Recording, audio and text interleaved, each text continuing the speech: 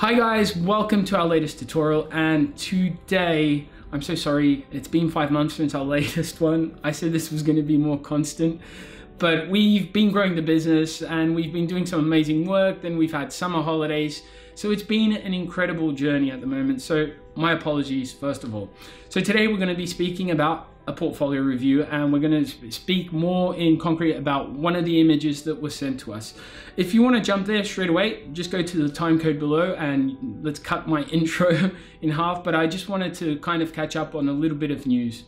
So just a bit of news in the meantime of what we've been up to so you guys know why we've been away as well. So we had a team holiday which was incredible in Italy. Uh, it was fantastic. So we had a ton of fun.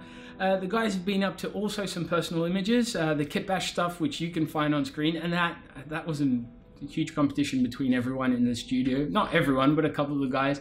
And uh, we actually did a vote online, which Timon won, and uh, now everyone's not happy.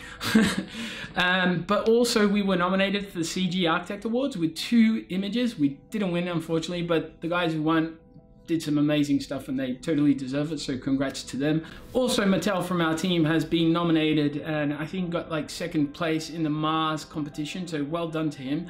And yeah, so it's been a crazy ride uh, through these last couple of months since our last video. And it seems like every time we put out a video, it's always a kind of a crazy ride. Um, so yeah, without further ado, uh, I'm going to introduce to you uh, our very own Matteo, who's going to show up and going to be doing this portfolio review with myself uh, right now. So here we are uh, again today, and you may be thinking, who is this beautiful gentleman you have next to you from Italia? this is Matteo Ferrari, who I want you to, to meet, and I want to introduce him. He's uh, an integral part of our team, and he keeps us all nice and well fed. Matteo, thank you for that, and Lucia. It's a pleasure. It's a pleasure. So I want to introduce you to him and let him say. You can say say a few words. Say your All justice, right. Matteo. As Pedro mentioned, I'm part of the team. I'm uh, lead artist here, so it's uh, of this beautiful team. Everyone is a great part of the team, Beautiful. so it's a beautiful team. Beautiful. Um, I joined one year ago, pretty much, and since then it's been a huge and amazing uh, adventure. So it's hope you like the images we created, and yeah, it's been super fun so far. That said, we received a portfolio image from Mr. Alex Aleksander uh, Swinarski. I hope I've said that correctly. Um, if not, I apologize. So Aleksander has written to us an email, a beautiful email, saying that he really likes our work. Uh, he's been watching since the beginning, and he'd really like to hear some words of critique from ourselves. So Aleksander, let's do this, okay?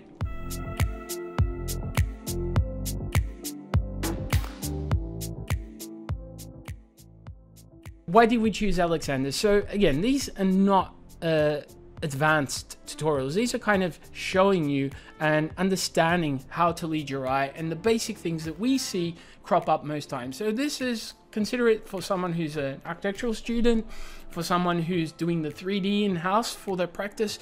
And this is really to kind of help you guys out to really get that extra little bit and to also understand because the techniques really they're all in our videos. If you just review them and you practice you're pretty much going to get there. So let's start this off and let's now go into the screen share.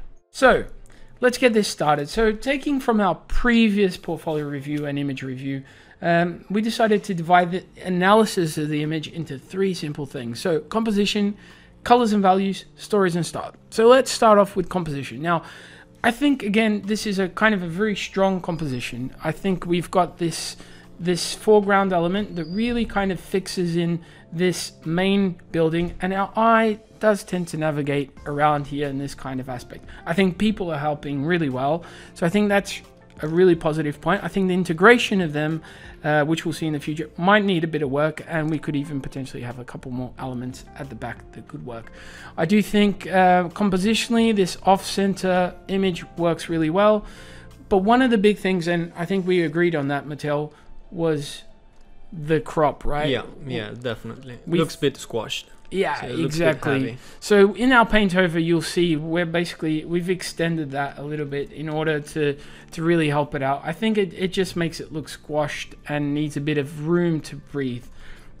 You've got your right anchor point and your left anchor point, which are, are working really well. and really kind of center the image. Yeah, yeah.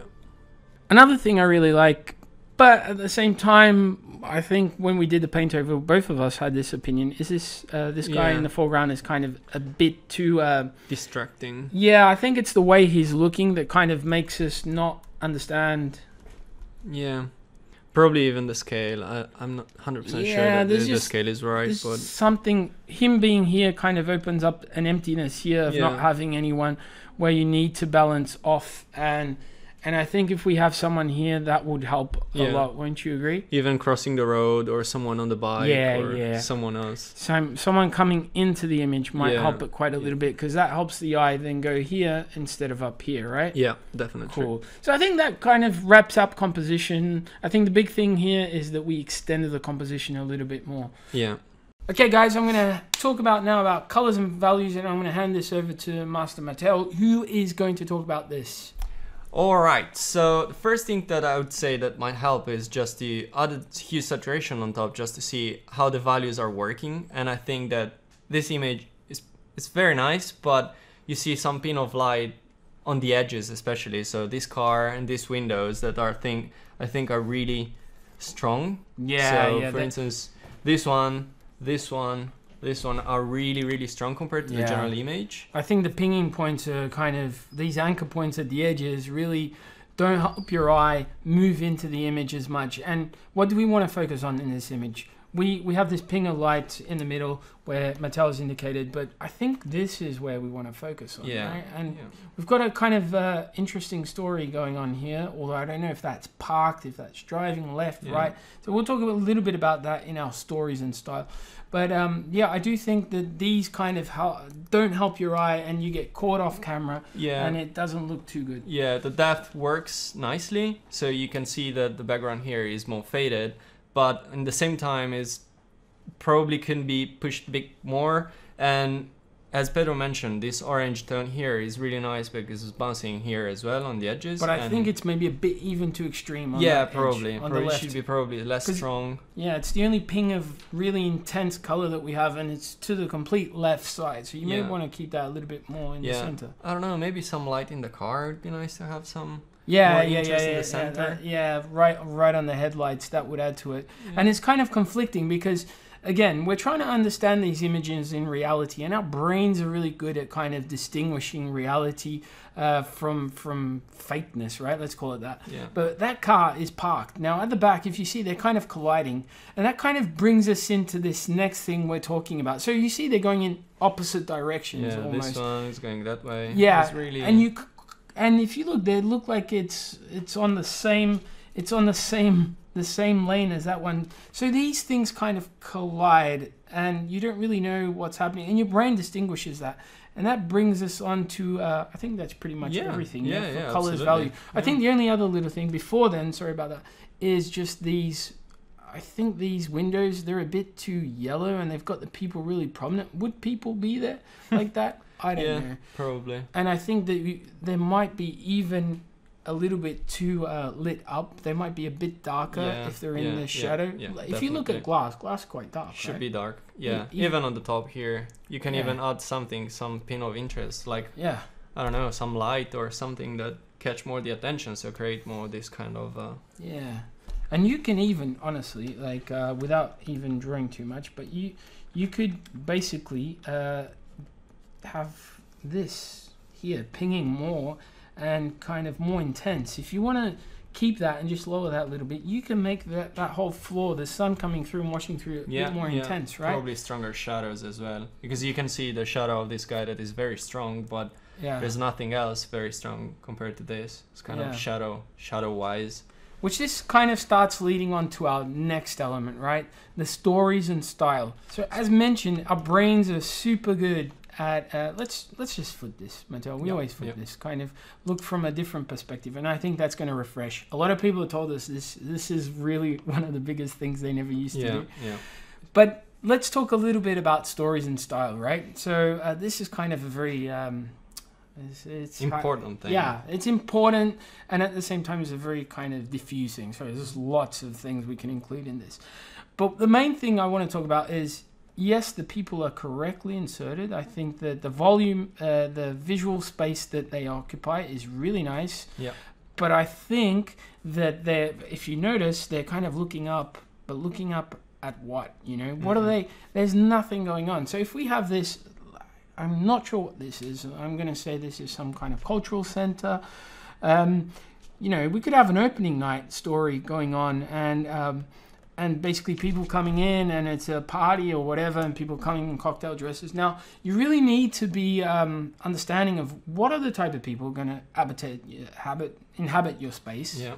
Basically, the story, the, the people creates a story and creates a very po- important part of the image. So if you build a story around the building that is a cultural center, you expect maybe people dressed in a way that uh, reflect the Yeah. cultural center, Yeah. and even the space of the, the the people should be kind of maybe more focused on this area. So the the main focus of the building should be there, and definitely helps a lot to have someone else maybe here Yeah, just crossing the road. anchor points that give you a little bit of story. yeah, Again, I, this guy we can get away with, right? He's looking up there. But this car, again, what we were talking about in the previous one, how it conflicts in is it going forward? Is this the is this also the footpath? What's going on?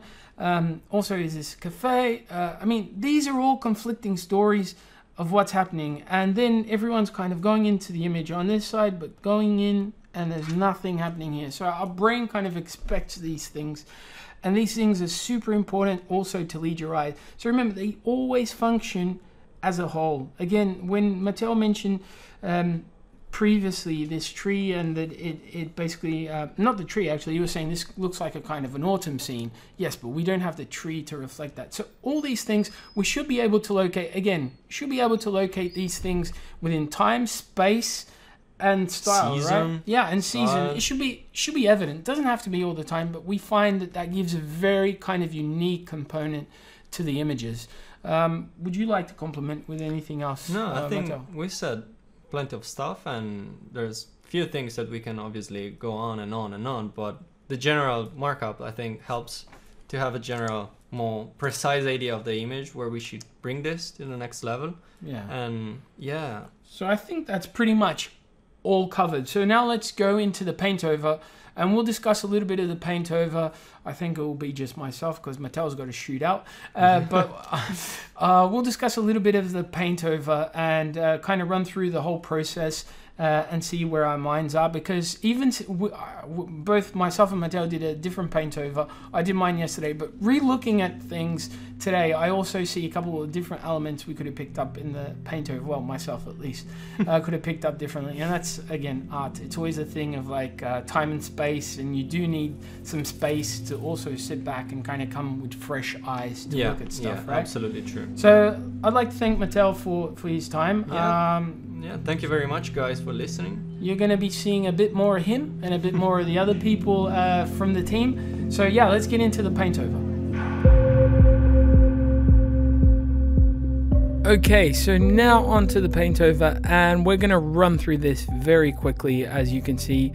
So basically, as we mentioned, the first thing was actually in regards to composition. To look at that, we mentioned that to expand the canvas uh, and to really kind of give it some room to breathe. I think it really helps. Now, as as you know, this paint over is not to be perfect. It's just for us to kind of understand our mental ideas, and you'll see that I'm working into it straight away with those so those anchor points. So we we noticed that that big volume on the left at the moment is quite empty and there's nothing and it's very repetitive that texture actually. I would even correct that in 3d a little bit. But you'll notice that i'm exploring around with the vignette and i'm really trying to to get this understanding of uh, what's going on and i'm trying to paint into it and understand what happens if we extend a little more. I think even most times when we're working on this type of images again if it's not like a vignette or it's not like a, a very architectural shot this is more of a street view and this is more of like um, the typical go-to that e- most architects do uh, to show the street ambience you'll notice that um, that a little more of the canvas always helps and it, it just doesn't feel as claustrophobic and you start to get a lot more attention now you see that I'm making the glass a little darker as we mentioned and I'm kind of brightening it up in certain aspects Also trying to bring out a little bit of that detail um, in those uh, those stone facades on the left. And again, darkening that glass. Now, I didn't darken all of it. I've just done it very quickly. Again, this is just a quick sketch. So you'll notice that I'm working into the car a little bit. Now, this is not to give too much attention, but it's just to understand how that car affects if we should put it a little bit more out of shot. Uh, and then just working into that midground, just trying to understand a little more how the tree could be built up in that midground. Uh, now, again, not perfect. I think there should be some distinction between those midground trees and the actual building. That glass, you see how it's kind of uh, just pointing together and it's coming together and you can't really distinguish. Again, it's just one of those things when you're looking at it from another perspective, you're kind of uh, figuring it out and seeing, okay, yeah, I would have done that. Again, it's a rough thing, so I would put that down. I would note, okay, separate that a little bit more in the future. You'll notice as well, kind of playing around with the with the composition again, just trying to see how it all works. I think as well, uh, another thing is, uh, remember we mentioned that that man really wasn't working. And you'll see that in the final image the final paint over as we explore the image I thought it could be really nice to have just someone with a child going down the street into the actual image but a little bit further out. Uh, also trying to lift a little bit of that um, of that uh, pathway I think it's the pathway. I'm not exactly sure if it's a pathway. And just trying to understand the car. Again the car is a bit confusing because one car is going one direction the other car is going the other and it doesn't really seem to work. You'll notice as well, I've not only flipped it to kind of get a little more perspective, but I'm also kind of flipping on a couple of different versions to have a look at what's been done. So now I'm bringing in a person, I thought a scooter, but again, I didn't really find anyone in the right perspective. And at the same time, I didn't really understand what side of the road people drive on here. This is one of those confusing things, and clients will bring this up a lot. And they, believe it or not, they, they do kind of look at those things, and the brain always detects errors. I, again, trying to clean that up a little bit and trying to understand how we might use that car because I, I, quite like that car. It's a, I think it has some character to it. Um, and just trying to place it a little more in the background where it's not you know, it's not so central and it's not occupying that importance of the edge. I, and it's not up against the people. It's it's also important to not have these types of um, uh, inconsistencies in our story where the people up against the car. And again, just walking, working a little more into that vignette, to that whole element that's really going to uh, frame our view. So I thought it could be really nice if it had these people in a, some kind type of cafe here on the left and also darkening a little bit of uh, of that blank wall so we get a little more contrast. And again sometimes don't be afraid to go contrasty i mean it's just one of those things that sometimes it really adds to the image and there are great images that are full of contrast. Most times clients they never want to go uh, contrasty you always want to go with the maximum amount of light. We want to see everything in beautiful blue daytime. I mean we all complain about this but at the same time, um, I mean, if you you have the freedom to experiment, right? You have the freedom to just go for it. It doesn't work, well, we'll try something else. And it's not that much of a big deal to kind of relight something uh, and do another artistic take on it. You'll see as well working into those uh, lamp elements, uh, as I thought they were quite important and they really worked. And after a little bit, um, this is basically the final image that we came through. And as you can see, the final image is just very rough at the moment. And please keep in mind that these, again, are just very rough ideas and they're not meant to be perfect. Uh, we're not working into this. This is to kind of show you guys, just with a little bit of color, um, color balance, color grading, and sketching, how you can really transform an image and how you can really kind of apply these ideas and principles to your images. So before I go, um, I just want to leave one small idea that we had. And I think it's a really cool one because uh, we, we want to meet who's out there, who's on that side. We want to know who's there. And basically we thought, why don't we just have like a, we, we generally have Friday drinks in the office and we go to the local pub. So it's kind of, let's extend this. Let's do a meetup where we can kind of get to know who's out there and you guys can come for a drink with us at the pub. Um, even if it's just one person, uh, it will be totally fun and we'll just pick your brain, you pick ours, and we can have a very informal talk and just get to know who's out there. So guys, I've linked it below. If you guys are interested, just sign up um, and let's, yeah, let's get to meet who's out there and understand who's who's following the channel around from our place. And finally, don't forget guys, follow our website, our channel, our Instagram, our other channel. follow Arqui9 Learn and Arqui9.com. And yeah, thank you guys for all the support. It's been amazing uh, to, to see who's out there. I'm really sorry. Hopefully, we've, um, fingers crossed, we'll get a couple more of these out uh, sequentially. And finally, do it in post.